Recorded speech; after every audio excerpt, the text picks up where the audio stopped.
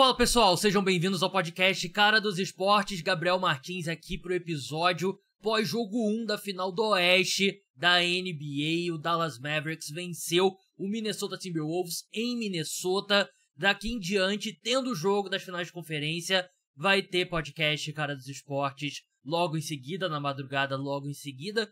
Menos nos jogos de sexta e de sábado. Esses vão ter vídeos no canal, no TikTok, no Instagram, no YouTube. E aí, no domingo, madrugada de domingo para segunda, volta a ter podcast atualizando o que aconteceu nos últimos dias. A justificativa é simples: menos pessoas escutam podcasts no sábado e no domingo. Por isso que eu vou guardar então só pro episódio ali de domingo à noite para segunda-feira de manhã. É, eu prefiro dar prioridade nesses dias aos vídeos. Não deixa de se inscrever no, no podcast, deixar cinco estrelas no Spotify, se inscreve no canal, se inscreve seja qual for o aplicativo de podcast que você escuta. Vamos entrar nessa partida que foi bem interessante. Foi um jogo de alto nível, um nível técnico realmente que. Não que chama atenção, que a gente sabe que são dois bons times, né? Mas foi um jogo muito disputado, de início ao fim.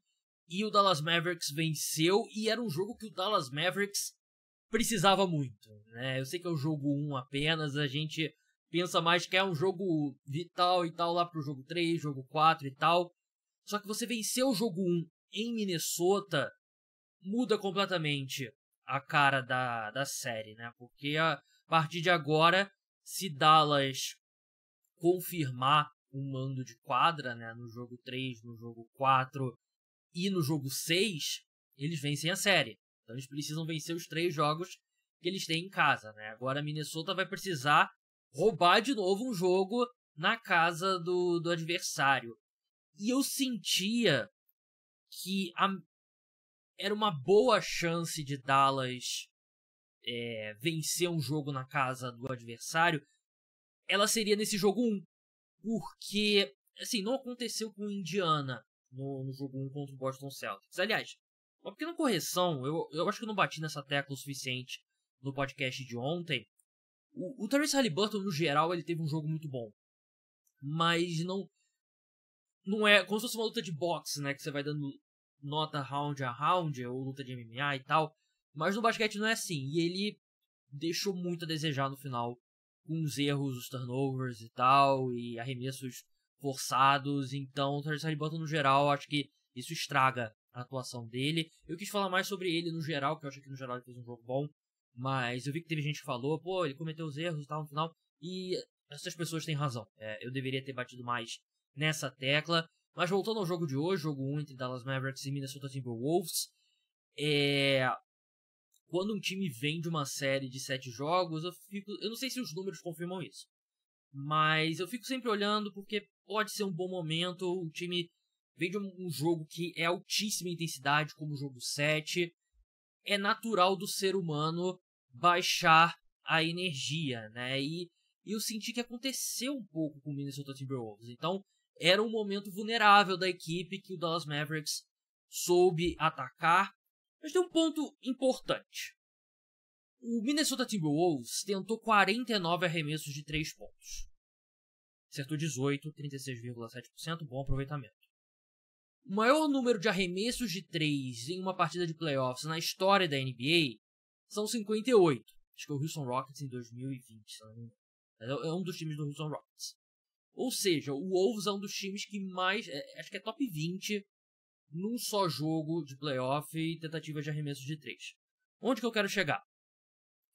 Quanto mais você arremessa de 3, assim, claro que você tem que.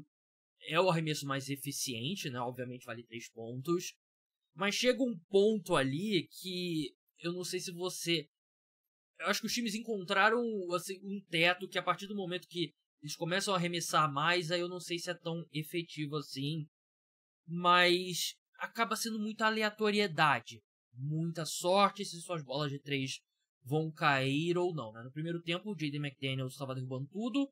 Ele errou algumas bolas de três, não teve o mesmo aproveitamento do, no final terceiro quarto, último quarto, e, e Dallas vira o jogo.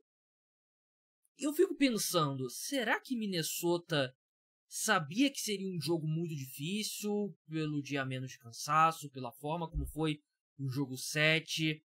e meio que tentou, vamos arremessar um número altíssimo de bolas de três e vamos ver no que vai dar. Eu não sei se conscientemente foi a decisão da equipe. Eu senti que eles tiveram muito pouca criatividade ofensiva nesse jogo, né? Eu não gostei muito dos arremessos, não gostei muito da movimentação de bola. E méritos para a defesa do Dallas Mavericks, né? Eu falei sobre no podcast e todo mundo falou sobre, ah, como é que vai ser a vantagem do garrafão do, do Minnesota Timberwolves e tal. Quem teve mais rebote foi o, foi o Dallas Mavericks, né? Foram 48 rebotes e o Derek Lively veio muito bem do banco com 11 rebotes. O Daniel Gafford jogou muito bem também. Jay Washington teve 7 rebotes. Então, todos esses pontos, o Minnesota Timberwolves meio que entrou no modo ali, vamos arremessar de 3, vamos ver no que, que vai dar. E acabou que acho que forçou muito, forçou muito, um time que deveria, a gente viu na temporada regular, eles foram o oitavo time, o oitavo time eles foram o oitavo time que menos tentou arremessos de três. Não é o, o estilo de jogo desse time do, do Minnesota Timberwolves. Anthony Edwards, 12 arremessos. Eu sei que ele converteu 5, um bom aproveitamento, né? Mas ele tem que atacar mais a sexta, né? Ele é um dos caras mais imparáveis atacando a sexta. Mais méritos da defesa do Dallas Mavericks, como eu falei, o garrafão. Eu achei que o Derrick Jones Jr., que eu já tinha visto um cara que fez o Shea Gildas. Shea Gildas Alexander teve uma grande série, né? No série, na, no último round dos playoffs. Mas o Derrick Jones Jr. pelo menos fez ele trabalhar, né? E ele fez o, o Anthony Edwards trabalhar, teve 6 de 16 arremessos apenas. O Anthony Edwards ter 12 dos 16 arremessos dele de 3 e parece um cara que tá um pouco cansado. E volta um pouco aquela minha teoria da equipe vindo do jogo 7 contra o, o Denver Nuggets, né? Mas essa defesa do, dos Mavericks eu achei que fez um bom desempenho. Eu, eu tuitei sobre isso, né? Eu sinto que uma grande parte de ter sucesso como time na NBA é você encontrar esses caras tipo o Derrick Jones Jr., né? Esses caras que passaram por vários times, nunca se firmaram e, e um contrato mínimo, joga bem por um ano, ótimo. Você encontrar alguns desses caras e ele é um baita exemplo disso. Assim como o Derek Lively é um exemplo de que tem quem compensa, né? Porque a gente lembra na temporada regular passada, né? Não essa agora, do ano passado, 2023, temporada 22-23, o Dallas Mavericks precisava. É, se ele tivesse uma das 10 primeiras, se não me engano, escolhas do, do draft, eles manteriam a escolha se saísse do top 10. A escolha ia, se não me engano, para os Chicago Bulls. Então eles chegaram no último jogo, eles poderiam ou ir para o play-in, ou perder o jogo e melhorar as odds deles de manter a escolha no top 10. Eles decidem perder o jogo. O Lucas não joga. E aí eles conseguem manter a escolha. O sorteio ajudou e tal. E agora eles têm o Dark Lively, que é um, é um cara que na época eu não gostei, muita gente não gostou da escolha mas ele se tornou um cara muito útil. Eu nunca imaginei que ele ia contribuir tanto como calouro, né? Então, são detalhes da, da construção desse elenco. Acho que eu já falei até muito antes de chegar no Luka Doncic, né? E acho que esse jogo é um bom exemplo do equilíbrio que esse time atual do Dallas Mavericks encontrou entre Luka Doncic e Kyrie Irving. Não é só o show do Luka Doncic. Tem um segundo cara, que é o Kyrie Irving. O Kairi fez um grande primeiro tempo, ele fez 24 pontos no primeiro tempo, terminou com 30, não apareceu muito no segundo. Quem apareceu no segundo foi o Luka Doncic. Teve um primeiro tempo apagado, terminou com 33 pontos, 8 assistências, 6 rebotes, 3 roubos de bola. Eu achei que ele fez um, uma excelente atuação defensiva. Então você tem. Luca não estava inspirado no primeiro tempo. Você tem o Kyrie O Kyrie deu uma caída no segundo tempo. Você tem o Luka Doncic, né? Então é por isso que esse time se encaixa bem. E aí você tem o PJ Washington, o Daniel Gafford, o Derek Jones, o Derek Lively, ali mais como operários da bola, né, funcionando lá na frente. Então, é, esse time do Dallas Mavericks vai ser duríssimo pro Minnesota Timberwolves é, vencer. É, eu continuo eu continuo achando que o Minnesota Timberwolves vai vencer. Mas eu achava que seria uma série de 6, 7 jogos. Eu não lembro qual foi meu palpite. Acho que foi Minnesota em 6.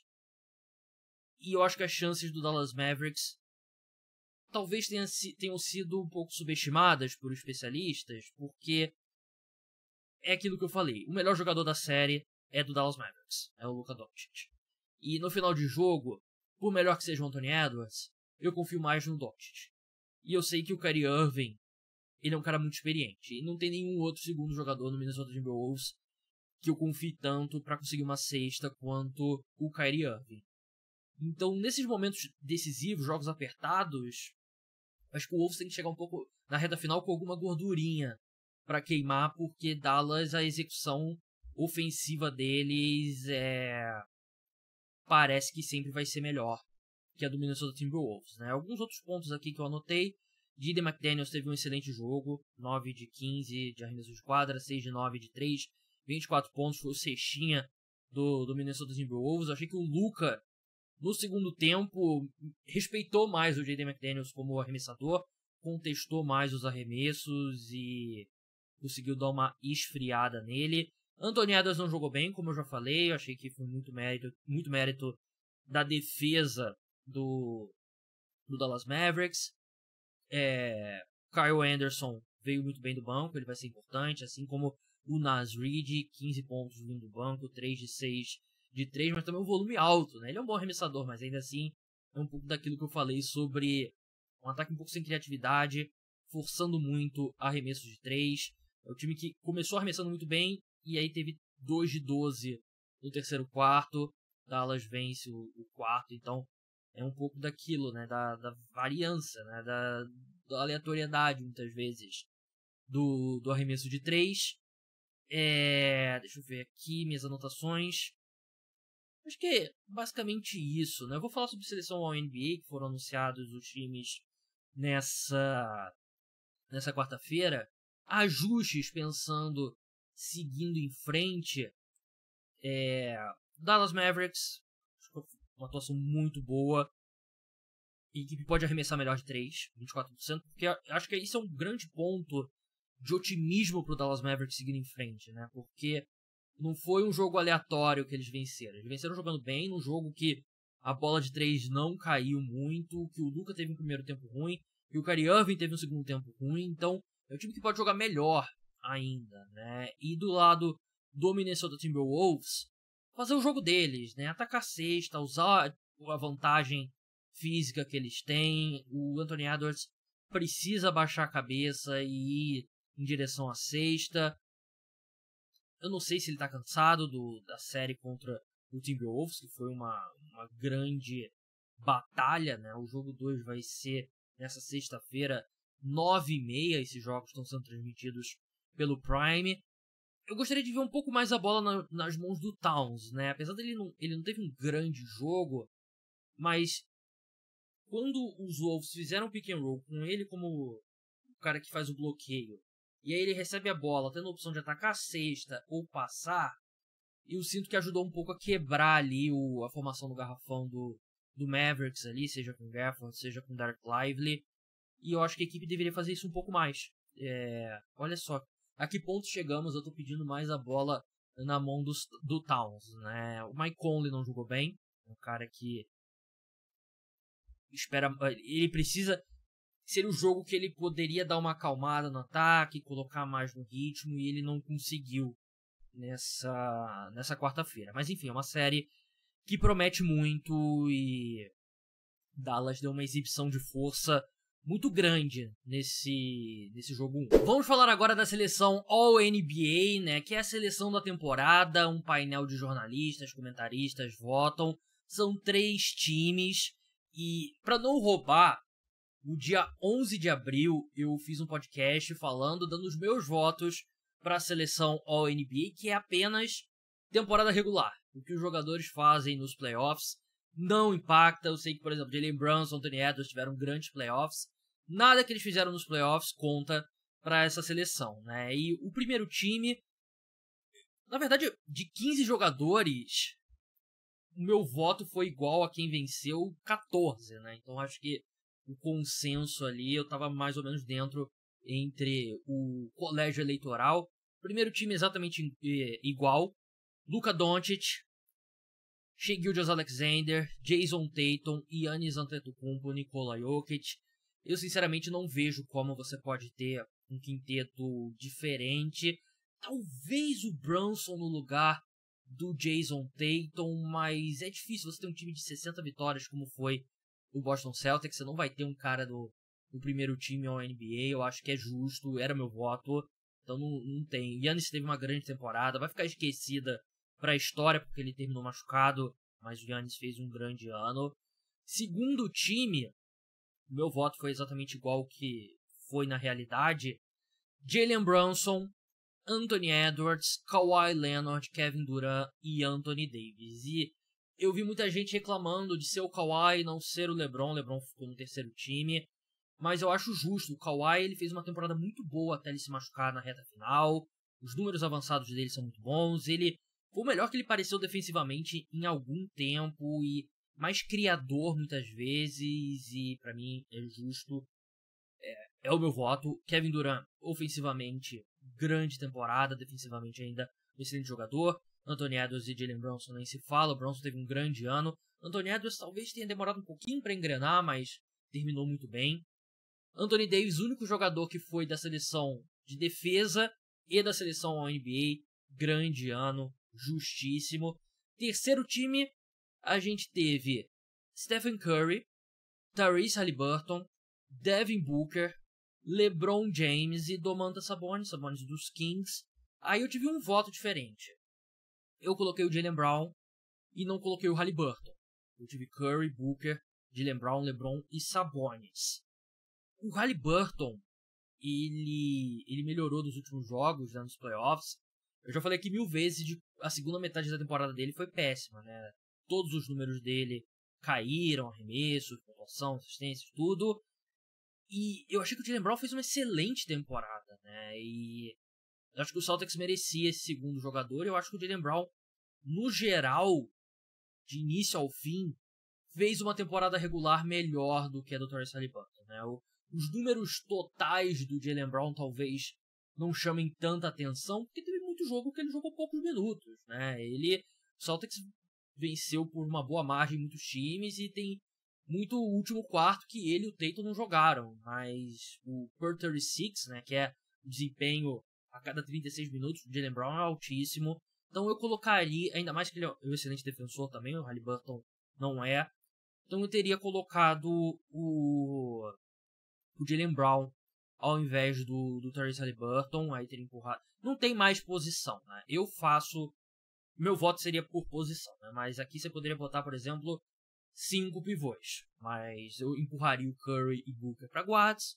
Teria de Brown, LeBron e, e Domantas Sabonis. As minhas menções honrosas no na votação foram. Tem a votação aqui do oficial também para ver quem. Deixa eu ver se tem ali quem ficou de fora por pouco. É. Menções honrosas: Donovan Mitchell, que ele não chegou aos 65 jogos. O Tyrese Halliburton, como eu falei. Tyrese Maxey o, o Zion Williamson e o Ben Adebayo. O Embiid, obviamente, não chegou ao requisito mínimo, né? E outros jogadores que receberam voto, Jalen Brown, como eu falei, foi o cara que teve mais votos e ficou de fora. Ele teve 50 pontos e o Devin Booker teve 70, né? então ele nem ficou. A briga dele nem era com o Tyrese Burton, né? Era com, com o Devin Booker mesmo. Paul George, aí já recebeu voto, mas bem menos. Paul George, Tyrese Maxey, Rudy Gobert, Vitor Embanyama recebeu cinco votos para terceiro time, bem mais do que eu esperava. Não acho necessariamente um erro, mas interessante. É, e teve dois votos para segundo time, aí eu acho, eu acho puxado pro Embanyama, né? Zion Williamson teve votos, Paulo Banqueiro, De'Aaron Fox, Ben Adebayo e DeMar DeRozan. Então é basicamente isso. Não, eu discordo do Torcey Burton versus Jalen Brown mas eu também não acho que é um grande absurdo. Em geral, esses, esses prêmios individuais e tal têm, têm sido menos bizarros do que 10 anos atrás, né? Acho que o bullying online meio que contribui para isso. Mas é isso, pessoal. O podcast Cara dos Esportes volta nessa manhã de sexta-feira. Vou postar né, na madrugada de quinta para sexta. falando do jogo 2 da final do leste entre Indiana Pacers e Boston Celtics. Até lá, tchau!